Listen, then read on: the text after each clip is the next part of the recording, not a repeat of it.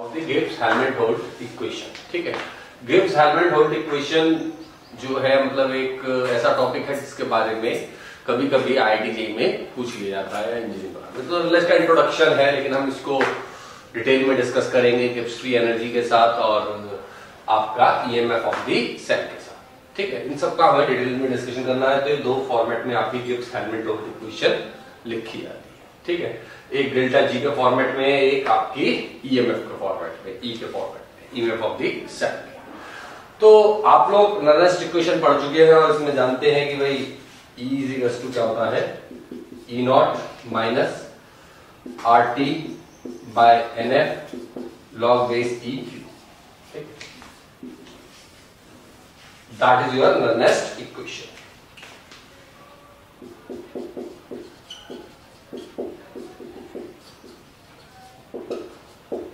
जहाँ E of cell है E naught आपका standard E M F of cell है।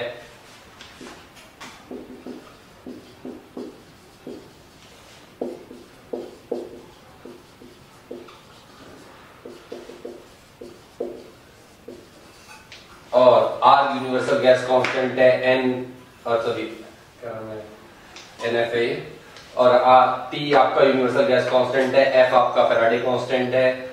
और Q जो है आपका रिएक्शन रेशियो तो नर्नेस्ट इक्वेशन से हम लोग ये तो पता लगा लेते हैं कि भाई ईएमएफ e टेम्परेचर के साथ सॉरी कंसेंट्रेशन को चेंज करने के साथ कैसे वेरी करता है। लेकिन टेम्परेचर को वेरी करने के साथ कैसे करता है? इसमें नॉर्मली क्या होता है, हम टेम्परेचर 298 केल्विन ले लेते हैं तो इसकी इस फैक्टर और ई e की जगह 0.0591 फैक्टर ले देते हैं एन को वेरिएबल रखते हैं।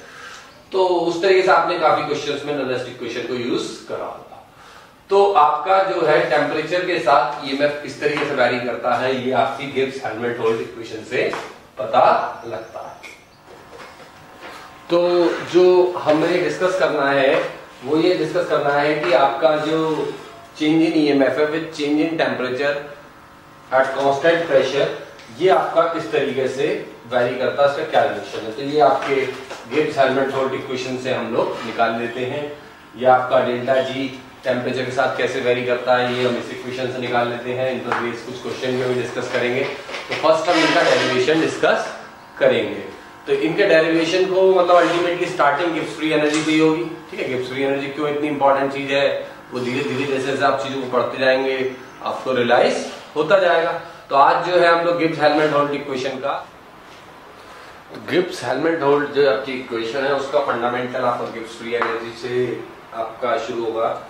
तो उसके लिए आपको इस फार्मूले का थोड़ा सा रिकैप्चुलेशन ज़रूरी है। आप लोग जानते हैं कि भाई G is to H minus T S होता है और H is to U plus T V ठीक है? एच जो है आपका एंथैल्पी है टी टेम्परेचर एस एंट्रोपी तो आपने जो एच की वैल्यू है, वो इस इक्वेशन में पुट करी तो U plus T V minus T S इस इक्वेशन का आपने डिफ्रेंशिएट किया। डिफ्रेंशिएट करा डी तो ये डी हो गया, और ये जो है पीडीवी प्लस वीडीपी हो गया minus T D S S D T हो गया। और आप जानते हैं कि D U is to D Q plus D U W होता है for a reversible process for small reversible process ठीक है? ये फ़र्स्ट लॉ ऑफ़ थर्मोडाइनमिक्स है। ये फ़र्स्ट लॉ ऑफ़ थर्मोडाइनमिक्स से जो भी आप एनर्जी कंजर्व कर चेंज करने हैं किसी प्रोसेस में तो एनर्जी टोटल सेम रहती है। तो ये आपका D U plus P D होगा D S is to D Q by T होता है, ठीक है? Small change in entropy equal to heat absorb divide by temperature तो D S is to D U plus P D V by T हो गया। इसकी जो value है आपने यहाँ से डी एस की वैल्यू निकालकर यहाँ पुट कर दी तो ये आपका माइनस का डी यू और माइनस का पी डी आ गया, इस एक्सप्रेशन में बाकी सब कुछ सेम और वो ये आपके कैंसिल होगा तो ये आपकी इक्वेशन आ तो ये इक्वेशन तो जैसा कि आप देख रहे हैं कि भाई D G is to V D P minus S D T है, ठीक है? तो इसमें आपने डीपी को ज़ीरो रख लिया तो ये equation D G is to minus S G T होगी। अब मान लीजिए आप पर्टिकुलर जो सिस्टम है, उसकी गिब्स फ्री एनर्जी जीवन मान लेते हैं। तो ये जो आपका एक्सप्रेशन किसके इक्वल हो जाएगा? माइनस एस डी टी के एस वन डी टी के। ऐसे इसमें कुछ आपने चेंज करा एंट्रोपी चेंज तो आपका जो ये डी जी टू है minus S two D T हो जाएगा आपका। और इन दोनों का आपने डिफरेंस लिया इक्वेशन सेकंड और फ़र्स्ट का तो ये आपका S two minus S one आ जाएगा और ये डेल्टा एस डी टी आ जाएगा। और एट कॉन्स्टेंट प्रेशर पर ये आपकी इक्वेशन इस तरीके से फॉर्म ले लेगी। ठीक है कॉन्स्टेंट प्रेशर पर डी टी के आपने डिवाइड कर दी। आपका जो है, आप जानते हो delta G is to delta H minus T delta S तो माइनस का delta H is to delta G minus delta H over T तो इस वैल्यू को आप जो है माइनस डेल्टा एच की इक्वेशन थ्री में पुट करते हैं तो delta G minus delta H upon T is to D delta G by delta T at constant pressure और डेल्टा जी इज़ टू आपका आ गया delta H plus T D delta G by D T ठीक है? ये आपकी Gibbs Helmholtz equation की एक form है। तो ये जो क्वेश्चन है, आप इस क्वेश्चन पे वीडियो को पॉज करें और क्वेश्चन को करने की कोशिश करें। गिब्स हेल्मेट होल्ड इक्वेशन पर बेस्ड क्वेश्चन है तो इसको आप करने की कोशिश करें, ठीक है? और इसके बाद इसका सॉल्यूशन देखिएगा। थोड़ी सी कैलकुलेशन इसमें टफ है, लेकिन गिब्स हेल्मेट होल्ड इक्वेशन पे बहुत आसान आसान क्वेश्चन ही बनते हैं।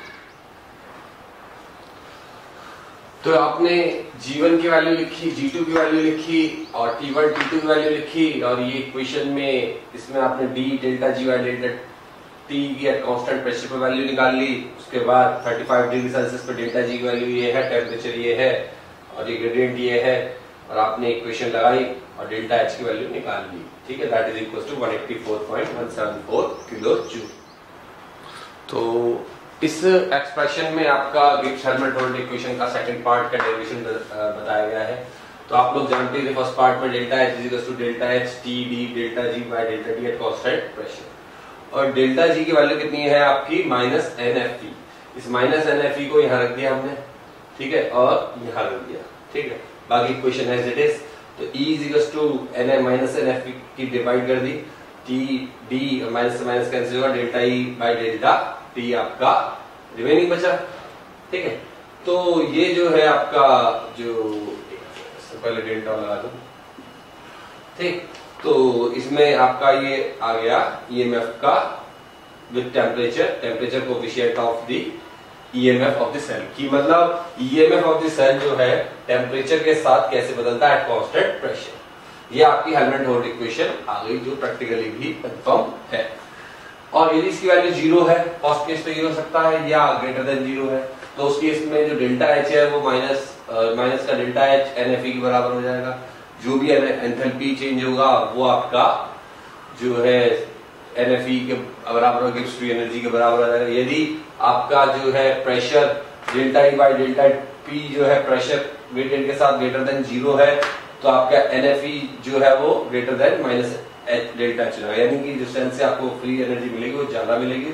उसका रीजन ये हो सकता है कि या तो आपका क्वेश्चन है for Daniel cell delta E by delta T इजिकस to zero N की वैल्यू टू है, दो इलेक्ट्रॉन ट्रांसफ़र हो रहे हैं बैलेंस केमिकल इक्वेशन में delta H इजिकस to fifty thousand hundred calories calculate the EMF of the cell cell का EMF आपको calculate करना है।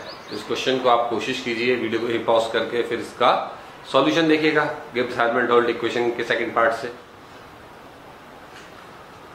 तो टेनियन सेल के लिए आपने गिब्स इक्वेशन लगाई और गिब्स हेल्मेट इक्वेशन लगाई, इसकी वैल्यू ज़ीरो रखी E is to delta H by N F हो जाएगा। कैलोरीज को आपने जूल में कन्वर्ट करा एन की वैल्यू टू रखी फराडे की वैल्यू कांस्टेंट की value nine six five double zero रखी और जो है आपका E M of the cell one point zero nine volt आ गया।